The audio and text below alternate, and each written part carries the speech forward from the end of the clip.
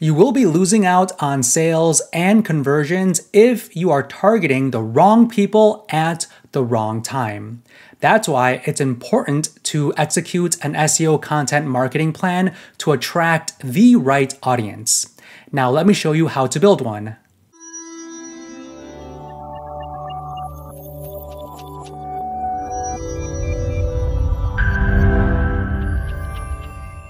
So, to attract the right people at the right time, we need to understand the three general uh, stages of the buyer's journey. So, at the beginning of their journey would be the awareness stage. So, at this stage, this is where they have realized and expressed symptoms of a potential problem or opportunity.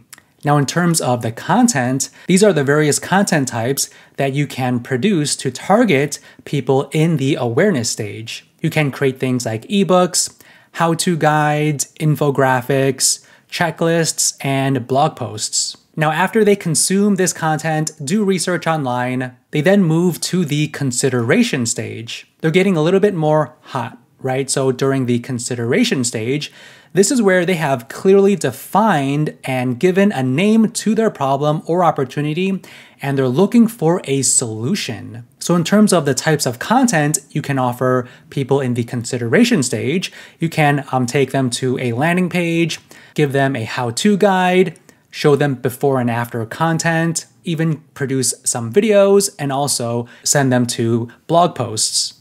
So after they do additional research and consume this information, then they become more educated and they become a hot buyer, right? So they are in the decision stage. So now they are ready to take action. So they have defined their solution, strategy, method, or approach to their potential problem or opportunity. So these are more specific content types. So these would be more beneficial for people in, in the decision stage.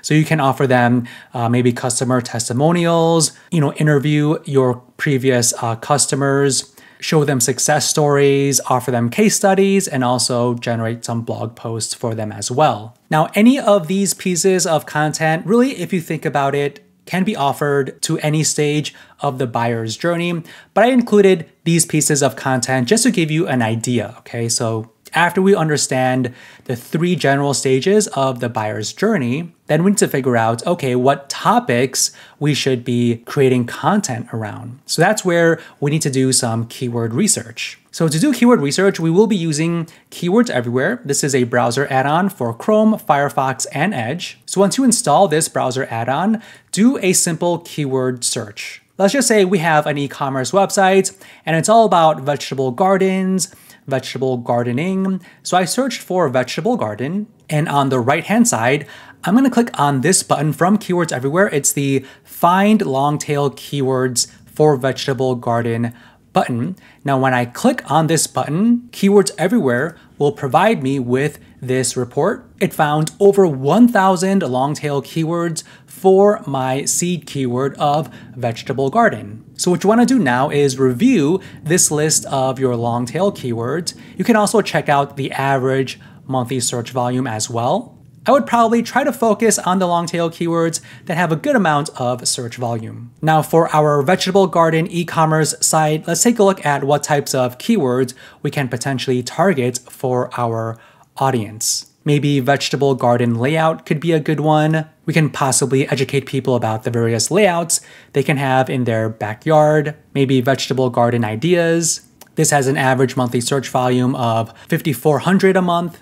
And let's see here as we continue to scroll down. Let's see. So, uh, best vegetable garden fertilizer. That one stands out because it has the best keyword modifier. It has a good amount of search volume as well.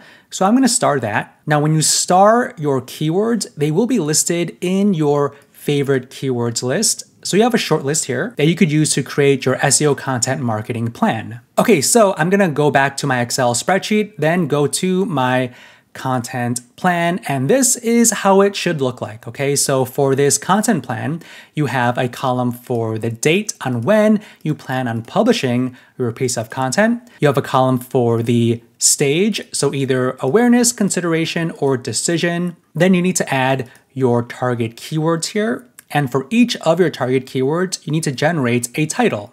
Now, this could be a blog title or a title for the piece of content you plan on creating. It could be an ebook, a how-to guide, so on and so forth. Now, if you want, you can also add a column for the average monthly search volume if you want, just so you can more easily uh, skim. So I'm gonna type in search volume here and then add the search volumes for each of these target keywords. Okay, here we go. So we have the average monthly search volumes for each of our target keywords, just to give us some more data as we are reviewing this content plan. So for this keyword, vegetable garden ideas, I tagged it as the awareness stage. So people in this stage might just want to learn more about the various vegetable gardens you can have maybe in your backyard. It has a good amount of search volume, and the title I gave it was 10 Creative Vegetable Garden Ideas to Inspire Your Green Thumb. And in terms of the content type, I put blog post. Now for this second one, vegetable garden layout, this one I flagged as the consideration stage. So they know what vegetable gardens are and they know about uh, layouts, but they want to learn more about the various kinds of layouts possibly, right? So in terms of the title, I have choosing the right vegetable garden layout, tips and tricks for beginners.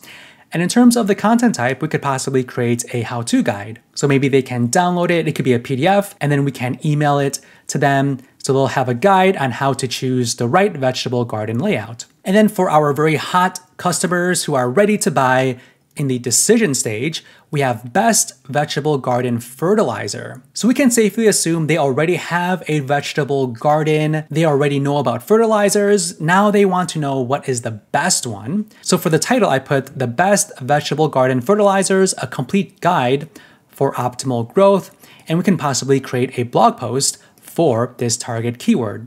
So this is how you would create an SEO content marketing plan for your business and website. Now you can target the right people at the right time for your blog articles and all types of content that you create online. So hopefully you enjoyed this video. If you did, let us know by smashing that like button and also subscribing to our channel. And if you want to check out some other videos, feel free to click any of the ones on the screen. Thanks.